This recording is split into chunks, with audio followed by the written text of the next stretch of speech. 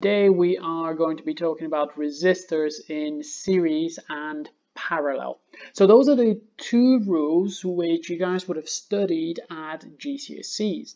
Now let's just recap them. If we have two resistors which are connected in series, for instance I have R1 and R2, the total resistance will just be the algebraic sum of those two resistors. For instance, if uh, let's write this in different colors. So let's say that this here was 100 ohms and this one here was 100 ohms, then the total resistance will be 100 plus 100, which will be 200 ohms. On the other hand, if those two resistors were connected in parallel, the total resistance will be given by the following expression. 1 over R total will be equal to 1 over R1 plus 1 over R2 plus more if there are more than two resistors connected in parallel. Let's do the same example. So let's say that those here were 100 ohms and those ones here were 100 ohms. So what we can do is simply write that 1 over R total is equal to 1 over 100 plus 1 over 100. This would mean that 1 over R total will be equal to 2 over 100 and then we can essentially flip the fraction so R total will be equal to 2 over 100 raised to a power of minus 1, which is equal to 100 over 2, which is equal to 50 ohms. As a little exam trick, probably the easiest way of inputting this expression into your calculator would be to use just 1 over r1 plus 1 over r2, then raise that to a power of minus 1. For instance, this in the case of the resistance being 100 ohms, this will be equal to 1 over 100 plus 1 over 100 raised to a power of minus 1. And if we put this into a calculator, this will be equal to 50 ohms.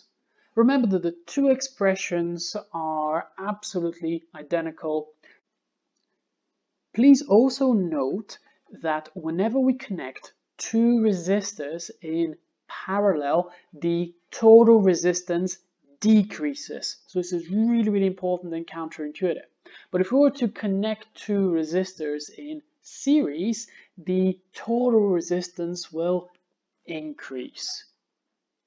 Now let's apply what we've learned to a couple of problems Okay guys, so here are the problems. What I'd like to do is to pause this video and find the total resistance in each case. Okay folks, now let's have a look at the solutions for, so for the first case we have two resistors which are connected in parallel. So we're going to need to use the parallel formula to add those up and then we're going to use the series formula which is essentially just to add 50 to our answer.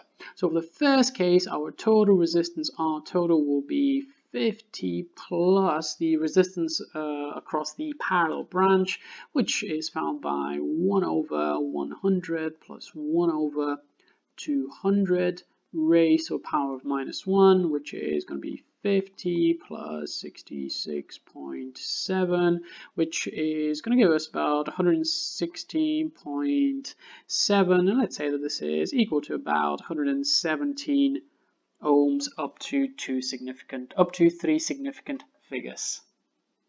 Looking at the solution for the second question now.